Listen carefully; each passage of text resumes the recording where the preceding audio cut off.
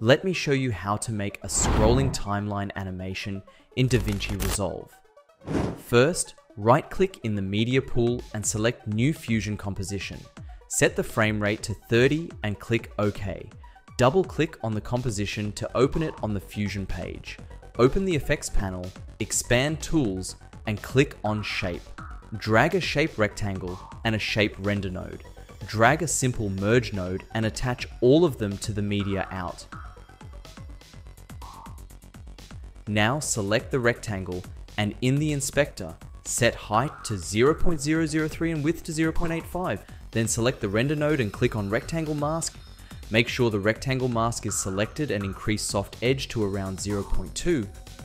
Now, drag a text plus node and a transform node and attach them to the merge node. Select the text node and in the inspector, add a couple of years and press the tab key after each one to separate them. Change the font to your liking, decrease the size to increase the space between years. Now select the transform node and increase the size to your liking. Decrease the center X value until the first year is in the middle of the screen. Increase the center Y value. Next, select the merge node and click on rectangle mask adjust the size of the mask so that only one year is visible. Increase the soft edge slightly.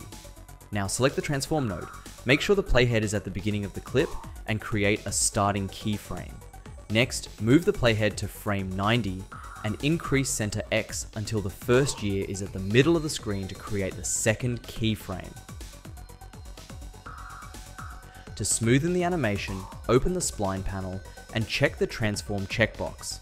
Now, click these buttons in the following order. Zoom to fit, select all, curve. For more curves, drag the handles to adjust the curve in a straight line.